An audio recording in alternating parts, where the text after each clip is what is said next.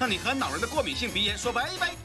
我们鼻腔里面都有非常多的黏膜，是那当你过敏的时候呢，它就会变成红色，对然后呢，它会肿起来，所以会鼻塞，然后漏水发炎。从小有过敏性鼻炎的儿童呢，容易因为常用嘴巴来呼吸，造成下巴变长，因此形成后道。错啊，我没听过维明哥有鼻炎啊。恭喜你答。怎么做能减缓过敏性鼻炎造成的鼻塞呢？A. 在鼻腔里面涂抹精油；B. 生理食盐水来冲洗鼻子。生理食盐水洗完之后，会将很多的过敏源洗掉。它的过敏源洗掉之后呢，它发炎反应就会少很多。但是最近在美国发生的一个案例，死了好几个人。他他使用洗鼻器的时候呢，他就用那个自来水，自来水里面它可能有一些那种小的寄生虫啊，或者什么的。哎呦，然后它跑进那个鼻腔，就到了脑袋，然后造成死亡。所以因此现在严格要求大家在用洗鼻器的时候，一定要使用药房没有开封的生理食盐水。好，我们今天要做这个咖喱南瓜的意大利面。哦，这就是我们今天的意大利面最主要的南瓜的配好。漂亮哦，光看就觉得食欲大振了。流口水对啊，真的是好棒，这个味道太厉害了，夏天这个太开胃，嗯好浓郁哦，那鸡肉好 Q 哦，面条也很 Q。云菜也好好吃哦。健康》，健康最实在。欢迎今天的三位特别来宾。先欢迎第一位崔佩仪佩仪姐，第二位金总，第三位王颖婷。最近哦，天气真的异常的热哦，嗯嗯，热到这个六月份好像已经创下这个全台湾一百一十年来的最高温。哦，所以也意味着说，我们常常会因为天气热，就常常会进出这个冷气房。是哦，根据这个医院的统计呀，哦，国人每两个人里面就有一个人有这个过敏性的鼻炎。哇，比例这么高啊！哎，这个医院统计归统计啊，我们这边先来统计一下了。有过敏性鼻炎的请举手。你看是不是？你有没有？没有你看是不是三个？刚好三个，刚好你们三位刚好没有。没有。对，我是以前没有，是最呃这几年才有。像这一次我去北海道，我上个礼拜才去，嗯然后就去那个薰衣草的工坊。里面通通都是干燥花，我一进去以后就不停的打喷嚏，不停的流眼泪。我说怎么回事？到那么好的空气怎么会这样？后来我一出那个房间，哎，就好很多，啊就好很多就是表示我会对花，以前我会不会不会有过敏，奇怪就不晓得为什么。以前都不会吗？以前不会这样子，哎呦，挨上了年纪了，所以所以这个也是会有后天的吗？有我是从小就这样，你是从小对，所以我从小大家都会误会，我觉得说什么好像公公呃王子病不打扫家里，其实我不能打扫，没有没有没有，你就是王子病。没有，因为我只要我只要一移动东西啊，哎，我就开始人就不行了，因为那条灰尘一飞起来，我就所以你在家里都不打扫了。我我是我很想，对，对啊，所以说这一集啊，我相信我们台湾有很多人都有类似像这样的问题。很重要哦，老师先跟大家讲一下，鼻腔过敏的人，就是所谓过敏性鼻炎的人，到底是什么地方？我们鼻子这么构造，到里面什么地方过敏？哦，它是这样子，就是呢，我们的这个呃黏膜，就是我们鼻腔里面都有非常多的黏膜。是那这些黏膜呢，对于外在环境的变化，不论是所谓的气温，不论是湿度，当然也有可能什么灰尘、颗粒、尘螨、蟑螂、蟑螂血什么都可能。嗯，那这些东西进来以后呢，它不舒服，嗯，我都北送，嗯嗯，那他不舒服的时候呢，他抠救兵，所以有大量的免疫细胞过来。那是不是会在差不多哪个部分不舒服啊？就黏膜，就是基本上这个是鼻腔的黏膜嘛。哦你看这是空气的，鼻腔鼻腔黏膜很多啊，就是你进去之后不是都有那种粉红色的那些那些黏膜嘛？那些黏膜上面正常的话呢，它是那个粉红色，然后不会肿胀，然后也不会一直出水。那当你过敏的时候呢，它就会变成红色，对，然后呢它会肿起来，然后呢肿起来之后呢，然后它就会一直渗水。就是流鼻水，嗯，那它肿起来之后呢，本来空气道是这么大的嘞，肿起来空气道就变小，哦，因为它肿起来了，所以会鼻塞，哦，就更不好呼吸啊了，。对对对对，所以它主要是黏膜的肿胀，然后漏水，然后呢那个发炎这样子啊。对啊，鼻塞很痛，像我自己到随身带那个有个喷鼻剂，我知道那个一弄完就整个有疏解感。对，因为我我很容易就是说像冷热交替一严重，或是干湿比较分明的地方，我会塞到我没办法睡觉，因为我一躺下去就是堵住。就鼻塞可。是就我就要喷那个那个东西也不能常喷。对啊，他就说可能一天一次，好像是一呃让你的血管收缩。不是，其实其实其实鼻喷剂目前有非常安全的鼻喷剂。啊，真的吗？对你使用的血管收缩剂，因为我们肿胀的时候，鼻黏膜肿胀的时候，微血管扩张，嗯微血管扩张之后呢，血液就从微血管那个渗水出来，所以你就会一直流鼻水。对那如果你把微血管收缩的时候呢，黏膜就会不肿胀退回去，然后微血管一收缩以后呢，水就漏不出来哦，呼吸也通呼吸通了，鼻水也不漏了，然后发炎反应也会降所以。那个是 OK 的。那不是那个不是那个不能喷，那个那个喷了以后确实会会违反常理。你应该要使用类固醇的鼻喷剂，使用类固醇鼻喷剂目前是最安全，所以你们都观念都错误。呦就就以为类固醇鼻喷剂反而不安全，你错了。那个类固醇鼻喷剂是最安全的，内固醇不是喷了就会想睡觉吗？不会那个局部喷完全没关系，因为你是口服才会有大剂量，局部喷的剂量非常的低。听完老师的讲解之后呢，大家对过敏性鼻炎应该有所了解了呗？但还有什么观念你不知道嘞？马上来考考看喽！早上习惯性打喷嚏，加上长期呢出现黑眼圈，就是过敏性鼻炎的症状。对或错，请抢答。举手，请作答。这样看起来应该是，可是我觉得没那么简单，所以是错。正确答案是，恭喜你答错了。开始是对嘛，对不对？对不起，下一题。太聪明了。从小呢不会过敏的人，长大后也不会罹患过敏性鼻炎。对或错，请看答。尹丁，请作答。错。确定。对呀，因为小时候我没有啊，现在有。刚刚就有人说他小时候没有啦。我也没有啊，所以我说是错啊。不会。好，正确答案是，擦，恭喜你。过敏性鼻炎的患者呢，只要排除过敏源，并注意空气的温湿度，鼻炎就不会发作。对或错，请作答。黑姐，请作答。错，因为它不止供空气，它有其他很多很多的东西。恭喜你答对喽！耶！从小有过敏性鼻炎的儿童呢，容易因为常用嘴巴来呼吸，造成下巴变长，因此形成后道。对或错，请讲答。Gino，请作答。错啊，我没听过维明哥有鼻炎啊。错啊，确定？确定。恭喜你答错了。眼睛，你今天八点会这样子？因为你常，你一习惯以后，你可能就用嘴巴了啊。我等一下，得等一下问一下。会答就要答，让我们答嘛。这个很像等等老师会解答，好不好迷？思。好，仔细听题目。下一题，请问，过敏性鼻炎的人呢，若长期未加以治疗，易诱发鼻咽癌的发生。对或错，请作答。黑姐，请作答。当然是对啊，一有病就要马上看呐。恭喜你答错了。啊看吧，我又鄙视你了。请问，有过敏性鼻炎且睡觉常打呼的人，可能因为睡眠呼吸中止，罹患心血管疾病，风险比一般人还要高。对或错，请作答。佩姐，请作答。对确定？对。恭喜你答对了。哦，因为我妈妈有有有睡眠呼吸症你有按才有机会。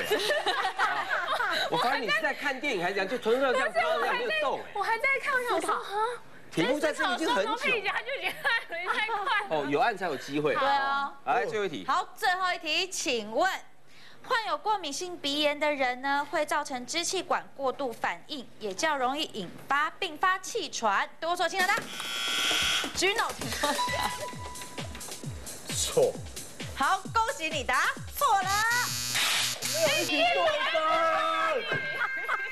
我这么迷失吗？老师，这个会早上起床打喷嚏，然后会出现黑眼圈的人，他就是过敏性鼻炎。就很像啊，就是当然还是要请医生做诊断，不过但是他像的机会已经很高了可。是没有一定吧？当然好像一定哦当然当然不可能一定，但是但是它的几几率是蛮高的了。比如说我举一个例子，就是台湾大学医学院做的研究，就是说如果小朋友有过敏性鼻炎的话，嗯那么有黑眼圈的比例高达六成到七成，所以它的比例是非常高的。那一般来医学界认为比例很高的，就基本上就很像了。好了，第二题，从小不会过敏的人，到底他会不会长大后过敏？会啊，他就是叫做先天性跟后天性的嘛，对就会嘛，就是真的会。老师，那台湾人有一个，我不知道是不是讲迷信啊，就是说只要女孩子啊怀孕啊坐月子做得好啊，以前很多毛病都会不见。那过敏性鼻炎有没有可能因为因为坐月子做得好就不见了？有机会哦，因为因为那个因为那个呃女性生完小孩，因为她经历一场非常大的变动，人生荷尔蒙改改变，如果照顾好体质改变的话，有可能哦，是唯一有可能是生小孩，对，李平知道了哈。可，是可是我月子就做的很好啊，对啊。可。能做的还不够好。没关系啊，这段话是说给他听的啦。不是他加油哦，好不好？把他月子做好。跟坐月。子没关系，因为他最近产生是已经小孩都生了十几年了，对。根本那个跟坐月子没关系，跟那个无关了。那。佩姐再生一个啊，啊，好，加油哦，把月子做好。我看我还是少去花粉的地方就好。好了，再来这个过敏性鼻炎的患者啊，如果排除过敏源，而且注意空气中的湿度，这样就不会发作，是错的。就比较不会发作。我加加两个字，可能这一题就对了。嗯哼，对啊，因为你的对，因为你的危险因子有很多嘛。嗯嗯，那你降低几个危险因子之后，它发作几率就会降低，那改善了很多。但是并不表示它一定不会发作。比如说，它早晚温差大的时候，你如果感受到温差，它还是会诱发。所以温度也是会。温度是一个很大的因素，是温度、温度、湿度、过敏源都是个大大因素。当然过敏源，但也有灰尘，会不会尘螨什么的都算在里面。对，那另外还有还有食物，还有食物也会，食物也会。食物有一些过敏源的食物，然后呢情绪不好 e m o j i 北送也有可能，你是说对，心理层面也会焦虑也会也会对也会，只是它的它的诱发的比例没有刚刚那个那么大，就是你如果排危险因子的那个排顺序的话，是。它是排在比较后头。然后，第四题，从小过敏，对啊，这里有争议，对啊，不会变后少。这怎么可其实能？这个我们好像曾经出过，老师有曾经不是啊，它是它这边是容易的，它并不是一定，不是百分百，它不是说容易吗？对不对？它是写容易比较容易嘛。哦，确实是啊，因为你用嘴巴，因为小孩子还在成长嘛，他整个骨型、脸型，他从小到大他在发育，在发育过程当中，如果您的这个呃习惯不好，它就会造成很多那个呃脸型上的改变。哦，所以所以这是确定的哦，而且它的这个改变，它不是只有说是，呃后道的这种脸型改变，它还可能有咀嚼功能不良啦、发音异常啊等等的。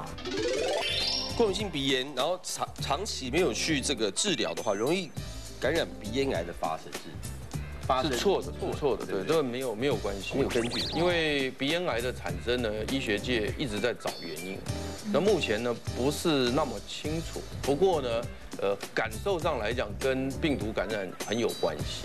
然后再来这个过敏性鼻炎呢，容易造成这个睡眠呼吸中止症，是。对啊，是啊，对啊，这不是那个人。我我妈妈我妈妈就会哭得不舒服。可是他说会患心血管疾，会会。我妈妈有心脏，因为她缺脑不缺氧，是为什么呢？这个跟睡不好？她是这样，就是当你那个没有氧气的时候，脑袋收不到氧气，她就会打电话给肺脏，对。说为什么氧气都不上来哦。那肺脏为了要因应那个脑袋的要求，增加那个肺动脉的压力，让那个那个血液过去比较多，把血氧带过来。但其实事实上是你没呼吸，根本跟它没关系。但是它就会造成肺动脉高压，那心脏会会那个压缩的更厉害，想把血打出来。但其实其实事实上跟他们都没关系了，是你没在呼吸啦。那最后后来到最后那个呃脑袋一开始你缺氧的时候，脑袋先打电话给心脏跟肺脏，那心脏跟肺脏加压加力的时候呢，氧气还是上不来。那之后之后脑袋知道快快要死了，所以他就会抠那个那个交感神经，你就醒过来，你就会醒，他就会抠他，说你快死了，你再不醒你就完了，他就会自己醒过来。像我妈妈就是醒过来以后，你只要一站起来，然后咔呼一下，然后又又睡，所以这种人就睡不好。再来第七题，患有过敏性鼻炎的人会造成支气管过度反应，易并发气喘，是对的。这个是科学家也有做过研究，就是说，如果说你本身是有过敏性鼻炎的人，那同时有气喘的几率有多少呢？大概四十帕。哇，这是统计学出来，那统计学出来就是就是 fact，就是事实了，没什么好吵的。嗯，那但是反过来就是说呢，如果我是气喘的病人，那同时伴有过敏性鼻炎的比例就更高了，大概有将近八十趴。哇，对，所以就说我本身有气喘，我同时有过敏性鼻炎的人八十趴，但反过来我有过敏性鼻炎，同时伴有气喘的四十趴。嗯，了哦解。目前军总你要加油啊，你零分呢，打那么多题零分，对啊，就是？可是我得到了很多尝试。对，对啦对啦，而且你得到这个尝试，有可能你会得到那个柠檬蒜汁啊，是，对还有下个阶段嘛？哦，对对？还有下一个只有四题哦，加油哦！不要不要。好的，马上进行我们的快问快答，来可来。第一题，请问怎么做能减缓过敏性鼻炎造成的鼻塞呢？A. 在鼻腔里面涂抹精油。B. 生理食盐水来冲洗鼻子。A 或 B，请抢答。Gino，请作答。确定？确定。恭喜你答。妈，我出运了。现在金的跟影评是平手哦，还有最后的三题哦。好，不好意思啊。好，请问，遇到冷的时候呢，容易引发过敏性鼻炎。平时怎么样做可以预防过敏性鼻炎的发生呢？A. 用冷毛巾来擦拭身体。B. 用吹风机吹手的虎口的地方。A 或 B，请抢答。佩仪姐，请作答。B 确定？对，恭喜你答错了。好，选择哪一种方式可以改善过敏性鼻炎造成的黑眼圈呢？A. 用冷毛巾来冰敷，B. 用温毛巾来热敷。A 或 B，请抢答。影评 请作答。搞不好错，搞不好错。那个 B B 是不是？确定？确定？恭喜你答对了。最后一题，仔细听了，请问患有过敏性鼻炎的人呢，选择哪一种运动较不会引发过敏性鼻炎发作？A. 选择瑜伽，B. 游泳。A 或 B，请等我讲完句呢。我刚刚看到你这样。A 或 B，请抢答。啊，搞不好游泳，我记得是游泳。确定？无所谓对错，都是我喝的啊。确定？我好，恭喜佩姐答错了。啊，瑜伽。加。不是游泳吗？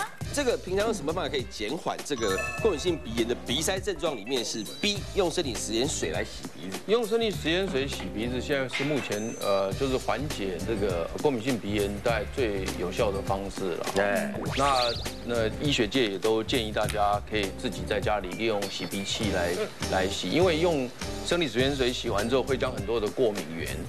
它可以洗掉，因为通常是过敏原粘在鼻黏膜上才会造成过敏。那你若用用生理食盐水洗过以后，它的过敏原洗掉之后呢，它发炎反应就会少很多对。，洗鼻器贵还便宜啊？那很便宜，但是重点来了，我要强调一个很重要的问题，就是说呢，最近在美国发生的一个案例，死了好几个人。哈，嗯，的原因是就是说，他使用洗鼻器的时候呢，他就用那个呃自来水，哦，就是打开的自来水就直接洗了。嗯，那结果死掉好几个人。那原因是因为对，因原因是因为在那个自来水里面，它可能有一些那种小的寄生虫啊或者什么的，哎呦，然后它跑进那个鼻腔就到了脑袋，然后造成死亡。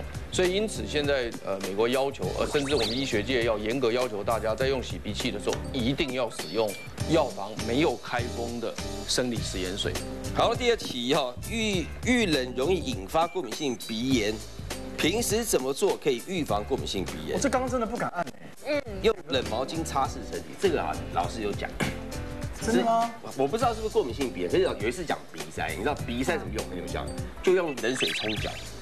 啊？我试过，就早上起来就有点感冒鼻塞不舒服这样，早上起来用冷水冲脚，哎，一下就通了。对，，一下就怎么可能冲脚会到鼻子？哎，你看你听老师讲就你知道为什么吗？知道。因为因为我们的血液哈是全身在分配的，就哪边需要会往哪边跑。那那你鼻子那个微血管肿胀之后呢，血液往鼻子跑，那时候呢，其实我不想他这样做。那你拿水一冲脚呢，那个脚脚就冷了嘛，血就往下就，这边马上通。就不会肿胀。对，马上，而且迅 非常迅速。那这样虎口吹吹风机，呜呜热了，它马上也就到到这边去了啊。要冰的，哦，一定要冰的。冰的。不过但是哦，不过但是我要强调就是说，像刚刚詹姆斯讲的，这个是立刻可以缓解 他的症状。但是呢，这 出这一题的制作单位不是这个意思，出制作单位的意思是说呢，怎么样让他以后都不会。那事实上要让这个过敏性鼻炎缓解呢，这个是一个非常有效的方法，大家要听清楚了，就是说呢。如果你有过敏性鼻炎的人呢，他必须要循序渐进的让他去接触一个比较能够抵抗寒冷的方式。那怎么循序渐进呢？就是说呢，首先可以用冷毛巾擦身体，让他感受到这种凉，或甚至我有的时候建议用冷水洗脸。用冷水洗脸，因为冬天有的人都喜欢用温水洗脸，对。嗯，但其实你用冷水洗脸是可以的，但是重点是不能够造成它更恶化，所以你要按照你的体质，你不要洗了以后更严重不行，你在你能够忍受的范围，用冷毛巾擦身体或者用冷水洗脸，逐渐的，如果你能更厉害的话，用凉水洗澡，哦，那个那个改变体质的速度更快，但是不可以引起反应，就是你自己如果产生很严重的反应就不可以，你要逐渐的用温水，然后再凉一点，再凉一点这样。那甚至更厉害的人哈，早晨去晨泳，就是游那种冷的，我那更厉害。那个可以整个体质全部改变哦，真的。对，但是你要循序渐进的，你不要一下子下去就挂了。那那老老师，我现在有过敏性鼻炎，对不对？我现在开始就你说的这个方法，我这样慢慢慢慢循序渐进。对，你觉得多久我会改变我的体质？通常大概只要半年到一年就可以改善。真的假的？很快耶，通常会。那比吃药好多了。当然，对。但是但是如果在严重发炎的时候，还是要用药。原因就是我刚刚讲，在严重发炎的时候，如果不用药的话，那个黏膜会坏掉。哦。黏膜坏掉就改善不回来了。是是是。对，就是你不能让房子破掉了，破掉就没办法。好。那可是老师，你刚刚说游泳，给我们最后一题有没有？过敏性鼻炎的人选择哪种运动，较不会引发过敏性鼻炎的发作？却是瑜伽，不是游泳。是的，这中间有几个重点哈，就是说，一般来讲，如果你是属于刚刚我讲的凉水游泳的话，通常是室外。室外，对，室外比较多。嗯，所以你如果说能够在室外游泳，就比室内好很多。如果但是你如果游温水游泳池的话，没有用，都可能会更严重。啊？对，因为为什么呢？因为通常温水游泳池它密闭室内的空气就会比较糟。对。所以有户外游泳池会比较好一点。我刚刚讲的其实就是户外。好了，是时候了，该宣布一下积分是多少了。第一阶段总积分呢，我们的佩姐拥有两分，Gino 呢只有一分，影评也是两分。所以唯一的难是我们 Gino 要喝我们的柠檬蒜汁哦。什么味道？哦，是不是？哦，什么味道？好天然，很好天然的臭，还还不，好黏哦。鼻子马上通了哈，没有水。嘿嘿嘿，处罚过后还有香浓鲜甜的番茄海鲜，广告回来即将为你呈现。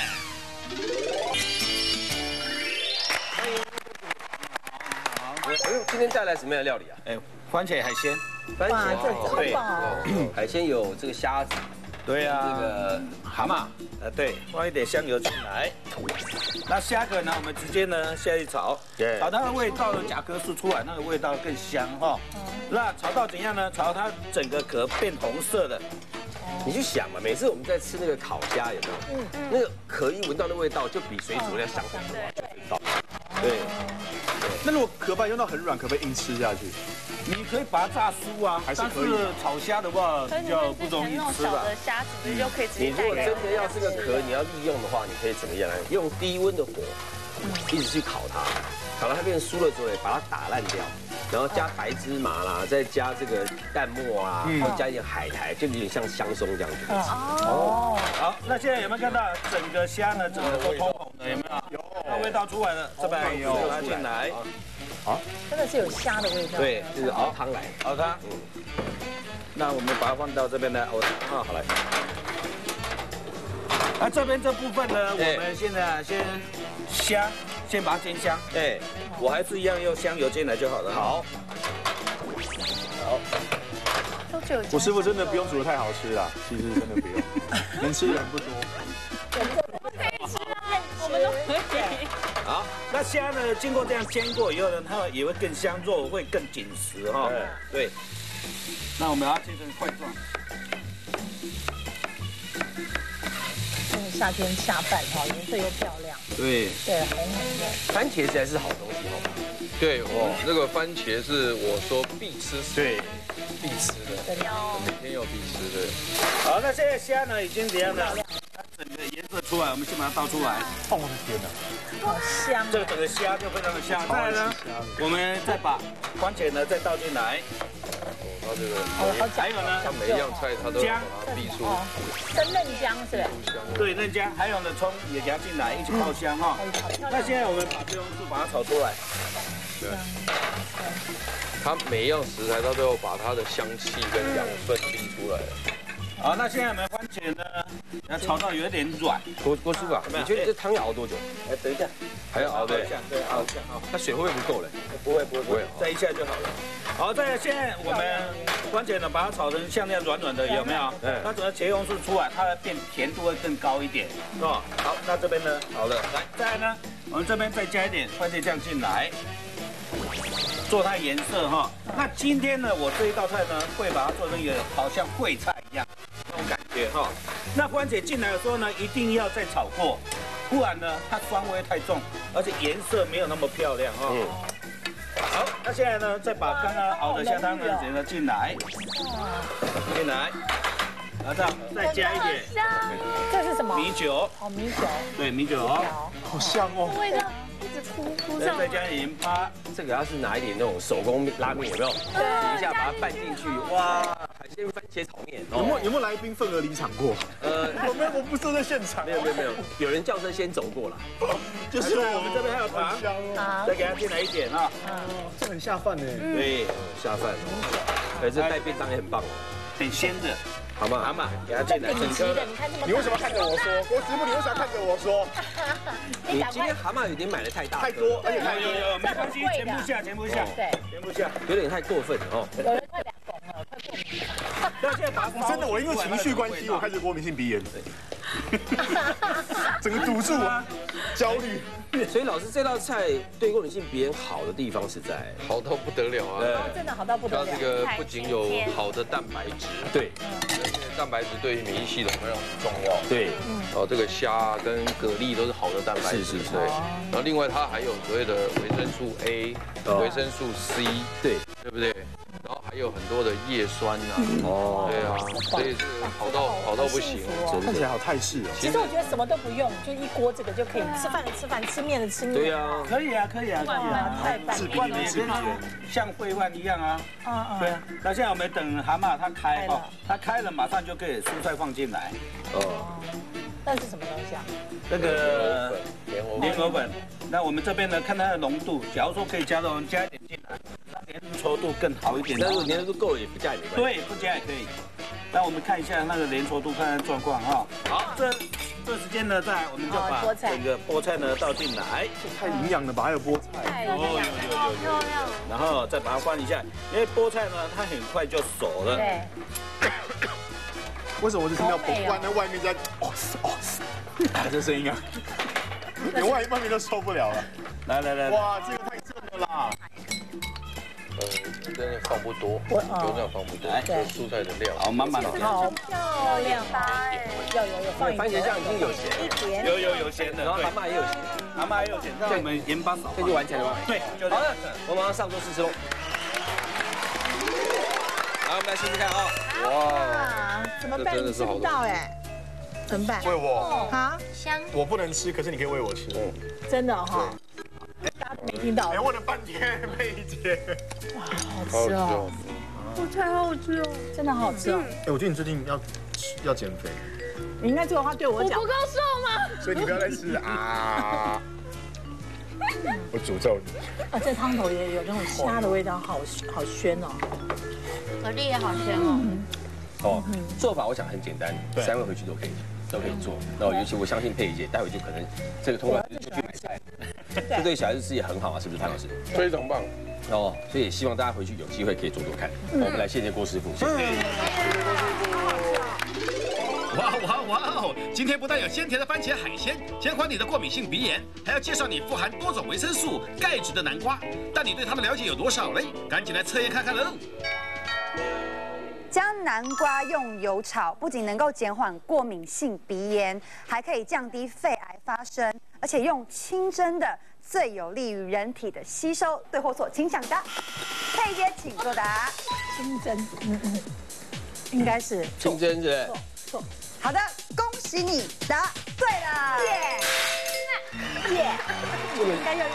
这个真的妈妈才知道，有煮饭啊没有没有，其实刚刚你仔仔细听，应该都可以听得出来，他们有些草可以把一些什么东西。佩姐答对了，还在奚落我们晚辈。好的下一题，南瓜富含糖分，糖尿病的患者应该要避免和米饭一起食用，以免造成血糖过高。对或错，请抢答。君哦，请作答。呃，南瓜富含糖分，避免跟米米饭一起。呃，对，究竟糖尿病患者能不能吃南瓜？广告回来为您揭晓。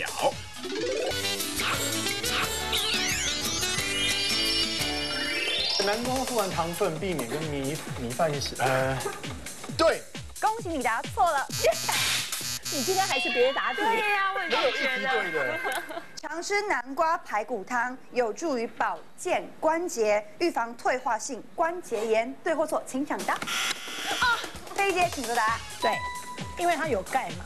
恭喜你答对了，耶！已经被喷习惯了哈。哦，现在 Gino 跟影评都没有拿到半分哦。是的，佩加油！将南瓜蒸熟打成泥来吃，对提升免疫力、预防感冒效果会更好。最后做，请抢答。金东，请作答。打成泥，效果对，恭喜你答错了。这是陷阱，这是陷阱。肠胃不好的人多食用南瓜子，可以促进肠胃的蠕动，预防胀气的发生。对或错，请抢答。一定，请作答。错，好的，恭喜你答对了。我自己每一每一题都被坑了。南瓜炒来吃，不仅能减缓过敏性鼻炎，还能够降低肺癌的发生，且清蒸有利于人体。全谷根茎类的食物这一类的食物，那这一类的食物里面含有多少的营养素呢？很多，比如说举个例子，它最最多的就是碳水化合物，对，对不对啊？所以因此它碳水化合物就是你们刚刚有一题就是糖分含的多，但是可是它跟白米饭比起来呢，它好多了。所以糖尿病病人如果能够呢，把饭少吃一点点，不是不吃，然后换成南瓜的话呢，那这个血糖控制会更好。啊，所以那一题是对，第二题。吧对，呃是对第二题对。对就是饭没有那么多的营养，但是这个里面有很多的营养，又可以让不是，但是就不是饭饭白白米饭里面的那个升糖速度太快了，它它升糖速度比较慢，而且注意哦，老师讲的不是说哦饭我在加南瓜哦，而是饭减一半补南瓜的一半。对我刚刚讲的是这个意思。哦，不要说哦好多吃饭配南瓜哦完蛋了，这不行这样子，不行这样。对，不是，那你饭配南瓜就变成是主食类太多了。然后另外就是说呢，它的营养素还有什么呢？还有维生素。那它最有名的维生素就是维生素 A。所以那因为它是油溶性的，所以希望它是用油油炒并不是说清蒸比较有利的，但是清蒸也可以吃啦。我还是要强调，就是大家不要这个这个学东西要往牛角尖去了。虽然是说它用油炒比较容易吸收，但并不表示不能清蒸。可以，为什么呢？哎因为你吃饭的时候，你还会吃到别的油。那再来，南瓜蒸熟打成泥来吃，对提升免疫力，对预防这个感冒会更好。对啊，感觉比较好吸收哦。不，它只要不要更好，就都都是对的。不要更好，就是它怎么吃都很好。再来最后一题，肠胃不好的人多食用南瓜籽，可以促进肠胃蠕动，预防胀气的发生。这一定是错的。对，不要吃那么消化多。尤其是一般肠胃不好的人，这个瓜子、南瓜籽吃太多不好消化。嘿 嘿嘿，了解南瓜的营养之后呢，接下来要来教大家如何挑选好吃的南瓜，以及料理南瓜汤的技法哟。南瓜要怎么挑选才可以买到甜度高、成色度佳的南瓜呢？我们请可兰示范做吧。哎，第一个一定要用手拿起来掂掂看它的重量，它如果呢拿起来是重重的，就代表它里面水分跟营养在生长过程当中非常的充足。第二个重点，大家眼睛仔细看我们的瓜蒂的这个地方，一定要呈现青绿色，它带有青绿色的话呢，代表它里面的成熟度是刚刚好，这种南瓜吃起来才会甜。所以呢，就这两个重点，第一个就是呢拿起来有点重量感的，第二个重点，我们瓜蒂的地方呈现青绿色，就是新鲜品质好又甜的南瓜哦。第一点呢，可以看这个南瓜呢，这个瓜蒂地头的部分呢，嗯要有点干燥的比较好一点点。那第二点呢，可以看哦，可兰这个瓜蒂呢哎是有点绿绿青青的，那我这个瓜地呢是要挑选有点黄黄的，因为呢瓜地干燥，然后带点黄黄的话呢，代表它里面的熟度啊以及甜分都非常的充足了。Gino 不要看那个 sample 哈，看那个没有用的。我往这边走抓到了，不好意思，不好意思。好，回来。所以呢，我挑选品质好的南瓜呢，两点。第一点呢，就是挑选它的地头呢干燥一点的；第二点呢，就是挑选它的地头有点黄黄的，就是甜度加成熟度好的南瓜哦。请抢答。五 B 真的知道，瓜地干燥，地头黄黄的，就是品质好的南瓜。恭喜你。哎，我真的对你刮目相看。我就说我会挑水果，也会挑派。两边其实唯一不一样的地方就是这个地头的部分，地头一定要呈现的干燥，然后有点干枯色哦。那如果它是属于还是很绿的，代代表它刚拿下来。南瓜是可以储存的，就它可以放很久。是，所以说你你要拿它盛，然后它就代表说里面的瓜肉比较重哦，然后上面的地头不管是洋南瓜或是土南瓜 都一样，这个地方一定都是要干枯的状态，好不好？不好意思哦，因为刚刚就知道你会作弊，所以我你们刚刚就我就是看不到啊，害我还被齐慧抓到。因为我太了解哦，现在的来来宾都太聪明，哦，一点机会都不会给你，好不好？来第二题，烹调前怎么处理可以使南瓜汤煮的较为清澈不浑浊呢？我们请可兰示范做法 A。这个方法是我们家秘传的。首先准备一个我们的冰块水，将我们的南瓜呢放下去，稍微冰镇一下。因为在冰镇的过程当中，它可以将我们南瓜的水分跟甜分都锁在里面之外，南瓜会变得更紧实。那这样如此一来呢，下去烹调的时候，它就比较不会变松散。那最重要的是，一定要挑选这种。有锅盖的锅子来煮它，因为呢，它整个会密合度之外，它整个甜分也会锁在水里面。那这样煮出来的南瓜呢，既好吃之外，汤也不会浑浊哦。南瓜呢，如果把它放到去里面煮的话，它其实最快熟的地方呢，就是它边边这个四个尖尖的角，因为这四个角呢，它面积其实是最小的，所以呢，我们只要将这四个边边的角呢，用我们的刀子削成平滑状的，像这个样子。有看到对比，一边是尖尖的没有削过的，那这边是已经平滑状的，让它的面积呢可以不要那么的小，不要那么的容易快熟。所以呢，我的方式呢，只要将这个南瓜呢四个边边的角，将它用刀子呢切成平滑状的，再放下去料理，这样子呢，它的汤啊就不会变得非常的浑浊，而且会非常的清澈哦。请抢答。我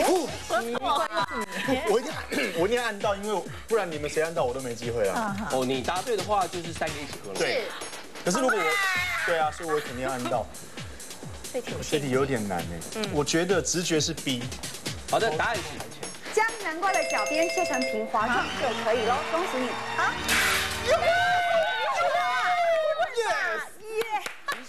其实齐慧刚刚的介绍是不够的哈，他刚刚说脚边，其实你要连什么？连旁边这个地方，这些都要拉拉掉。哦，皮的地方吗？不是皮，就是这个角落，只要有直角的地方，你一定要先先把它拉，一定要把它拉掉。为什么？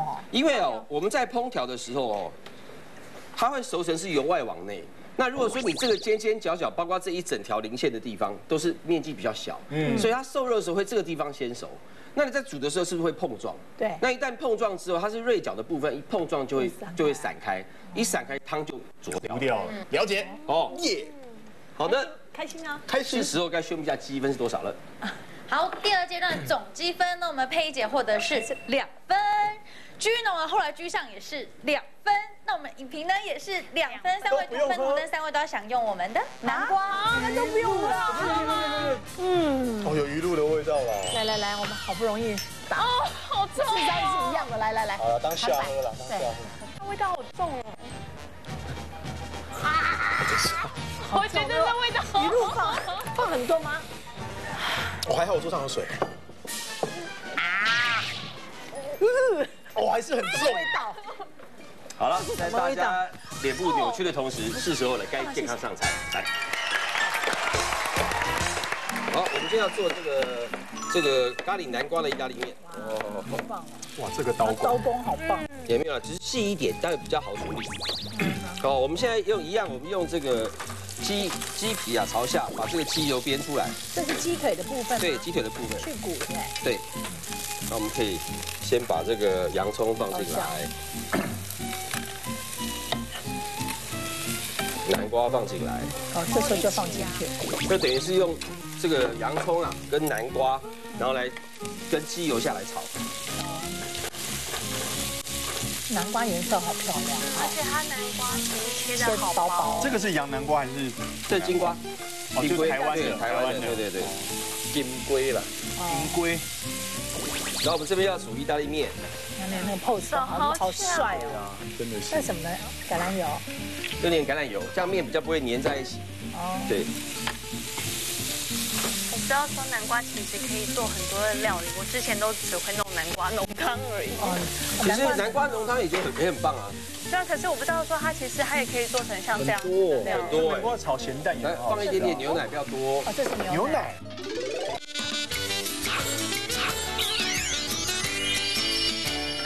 放一点点牛奶，不要多。哦，这是牛牛奶，对，然后放一点点水。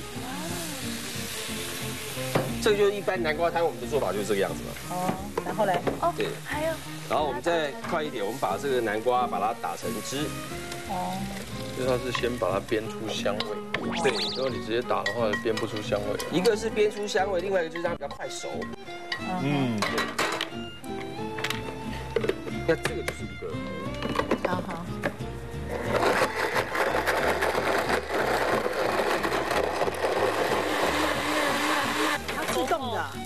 它自己会停。那这个就是我们今天的意大利面最主要的南瓜的配哇，好，漂亮哦，哇。它其实也就是南瓜汤，嗯哼，可以闻一下它的味道是蛮香的。闻到洋葱的味道，有洋葱，香，对，反正南瓜南瓜味道没有那么重，很开胃。然后这个我们有姜泥跟蒜泥，哦，把它放进来，因为这两个是煮咖喱的最基本的东西。那个面会不会不够？那么多人要吃，不会不会三个三个都答对，有我怕你忘记三个都答对。有计算内的，然后放咖喱粉进来。哇！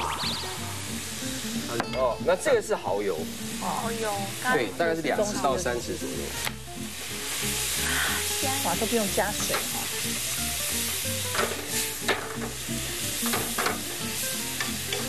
来把牛奶放进来。那我们刚刚的南瓜放进来。哦，好像很大颗的那种蛋黄，对，好好吃哦。在做任何的面点哦，包括意大利面也好，或者中式面来来来来来了，它的汤放进去，就那味道就来了。嗯。而且其实不管配配面，对，拌拌也很好吃。哎，对我觉得这一道的浓郁感比上一道更厉害，这个吃不到真的很痛苦。对，差不多，我们现在就把这个花椰菜放进来，一起泡着。好漂亮，它在汤里面自在的游泳，这怎么做都觉得好美哦。真的哦，吉诺这一这一这一段跟刚刚上一段不一样，这段好活泼哦，对，因为这段鼻子通啦，呃，鼻头心哦，情好，鼻炎也减缓。对，上一段哇，整个都不太互动的感觉哦。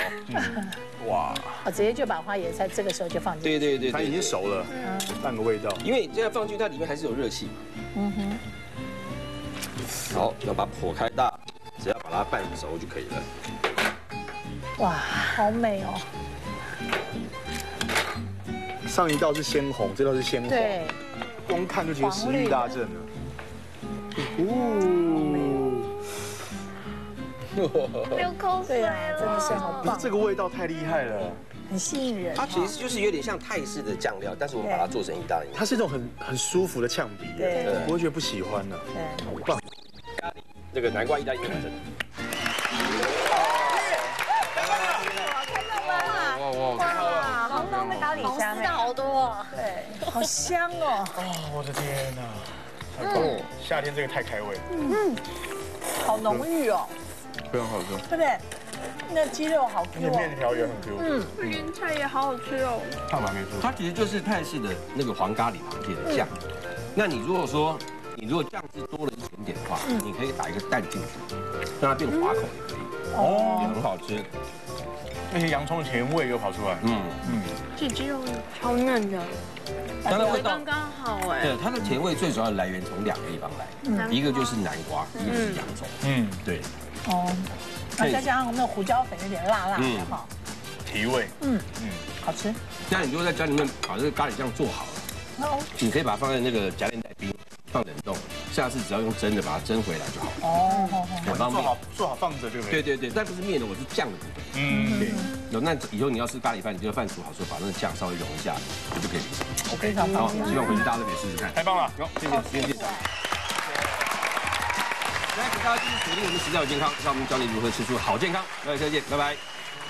啊好好吃啊。拜拜。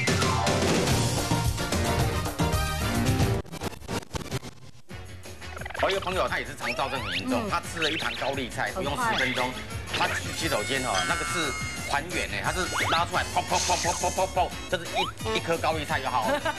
你有看到吗？怎么突然间会这个样子？那个变成蔬菜块啊！你本来明天下午六点钟，超市实在有健康。接下来播出《生活接力棒》。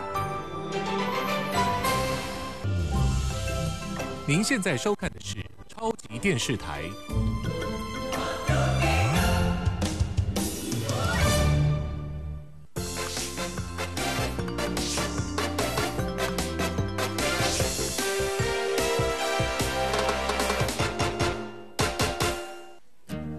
活接力棒，让你的生活超级棒。六月到八月是漳州提子采收期，还有个热闹的提子采摘节。所谓提子，指的就是葡萄吗？今天让魏赛来告诉你。到了高雄旗山，你一定会想到香蕉，为什么呢？跟着小寇来一趟。